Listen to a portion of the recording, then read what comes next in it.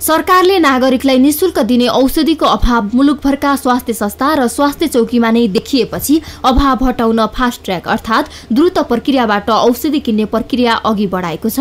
अति आवश्यक एक सय पाँच किसिमका औषधि द्रुत प्रक्रियाबाट किन्न बोलपत्र आह्वान गरिएको मन्त्रालयका प्रवक्ता महेन्द्र प्रसाद श्रेष्ठले जानकारी दिनुभयो। सत्तरी प्रकारको औषधिहरू देशभरिमा उपलब्ध गराउनको लागि अब यो चाहिँ फास्ट ट्र्याकमा हाम्रो नियमित खण्ड किन्ने प्रक्रिया छँदैछ यो तत्कालको आवश्यकता पूर्ति गर्नको लागि हामीले किन्ने प्रक्रिया सुरु गरिसकेका छौँ। मन्त्रालयले द्रुत प्रक्रियाबाट चालिस करोड रुपियाँको औषधि किन्ने तयारी गरेको हो। अहिले तीन महिनालाई पुग्ने गरी औषधि खरिद गर्न लागि र सो औषधि छिटोभन्दा छिटो गाउँ गाउँका स्वास्थ्य चौकी पुर्याइने प्रतिबद्धता पनि मन्त्रालयको छ।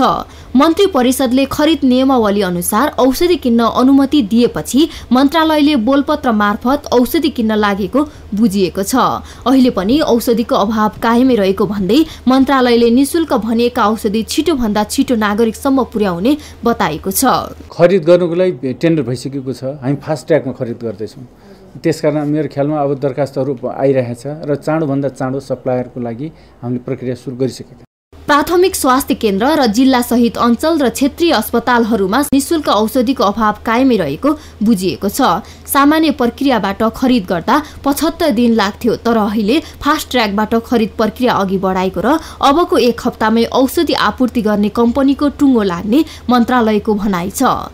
स्वास्थ्य मन्त्रालयले अहिले धेरैजसो सुइजन्य औषधिको अभाव देखिएको जनाएको छ। त्यसै कारण सरकारी स्वास्थ्य संस्थामा धेरै माग हुने र अभाव रहेका औषधि आपूर्ति गर्न गरिएको प्रवक्ता श्रेष्ठले बताए। नेपालमा उत्पादन नहुने र भारतमा निर्भर हुनुपर्ने औषधि तत्काल खरिद गरिने र यो हप्ताभित्रै थाइल्याण्डबाट बिस हजार ब्लड ब्याग ल्याएर ब्लड ब्याङ्कलाई दिने तयारी समेत रहेको मन्त्रालयले जानकारी दिएको छ। ब्लड ब्यागको अभाव भएको छ।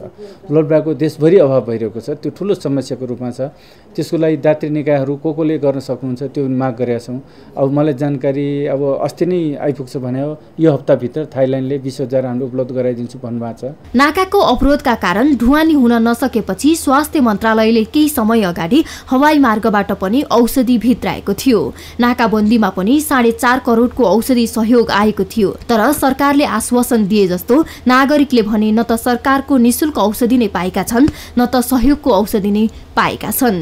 न्युज ट्वेन्टी फोरका लागि क्यामरामा मदन सापकोटाका साथ टिभी जर्नलिस्ट रिया भण्डारी काठमाडौँ।